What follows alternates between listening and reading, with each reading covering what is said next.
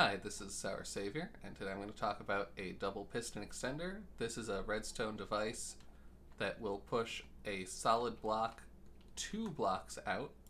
So as you can see, it's two blocks away from where it started.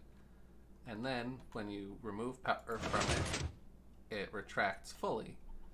Now the way that we accomplish this is with timing. So when the lever delivers power here, power is first delivered to this block, which does nothing. Second, it's delivered to this block, which pushes both of these out. So if we were to get rid of this repeater, it does that. Well, so it still does that.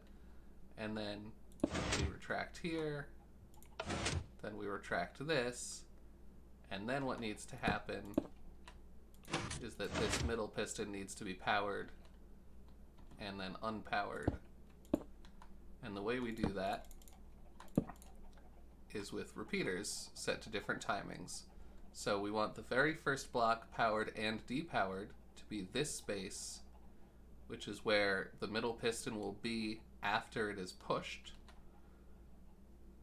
such that this piston will retract first before this one retracts.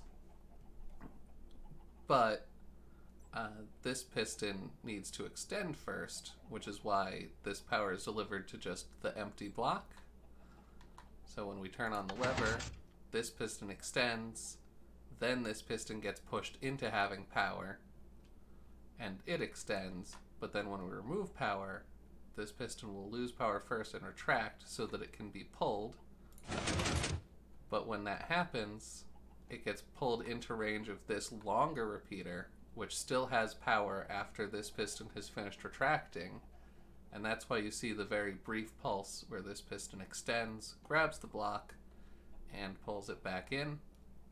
And the net result is just your double piston extender. Thank you for watching.